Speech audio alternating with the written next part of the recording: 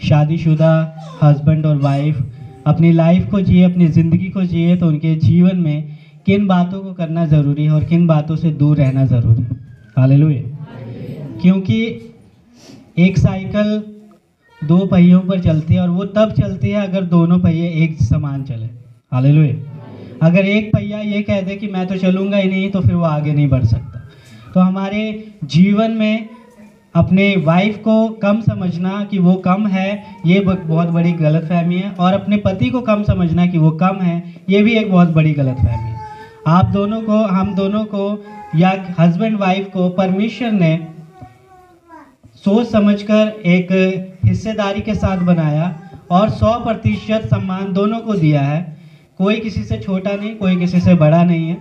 परमेश्वर के कलाम के मुताबिक परमेश्वर ने वाइफ को बनाया हस्बैंड की मदद के लिए और हस्बैंड को बनाया वाइफ की केयर के लिए। एक दूसरे की एक दूसरे की केयर कर सके, देखभाल कर सके और ऐसे ही आने वाले समय में जितने भी शादीशुदा लोग हैं, उन सब के लिए भी मेरी यही एडवाइस है कि हम एक दूसरे का सम्मान करें और प्रभु में आगे बढ़ते रहें।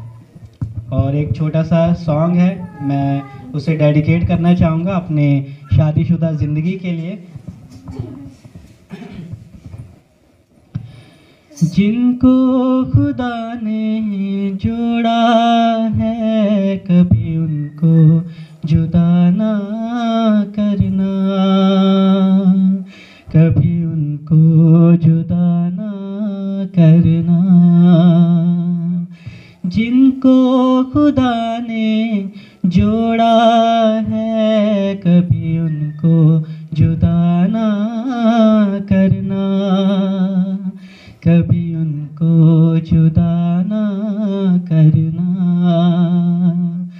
अनमोल लड़ियों की घड़ियों से इनको जुदा ना करना।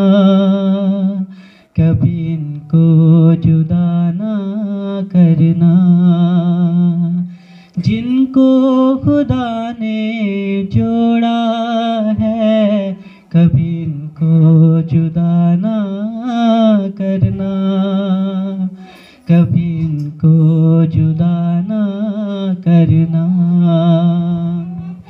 शौहर से यूँ अहदे वफा हो जैसे खुदा बंद से। शोहर से यूँ अहदे वफा हो जैसे खुदा बंद से। यीशु की शहजादी है ये, रखना उल्फत इससे। यीशु की शहजादी है ये, रखना उल्फत इससे। रखना उल्फत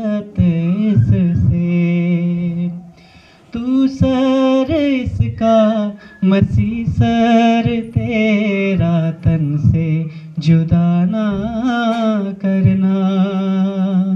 कभी को जुदा ना करना। जिनको खुदा ने जोड़ा है, कभी इनको जुदा ना करना।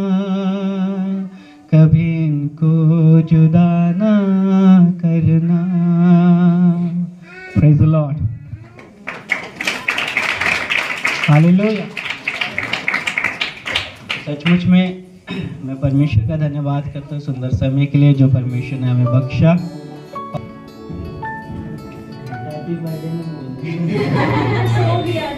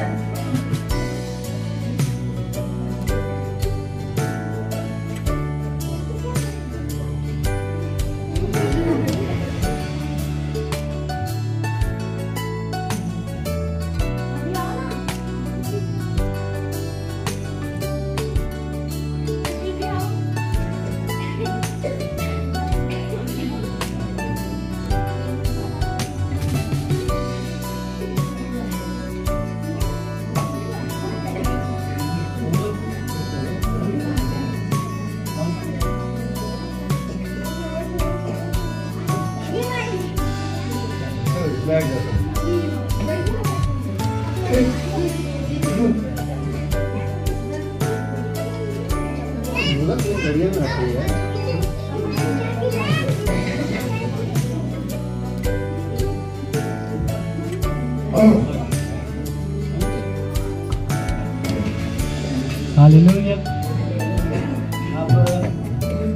मैंने फैमिली फ़ोटो करनी है अपने चर्च फैमिली के साथ तो सब इधर इधर आ जाओ।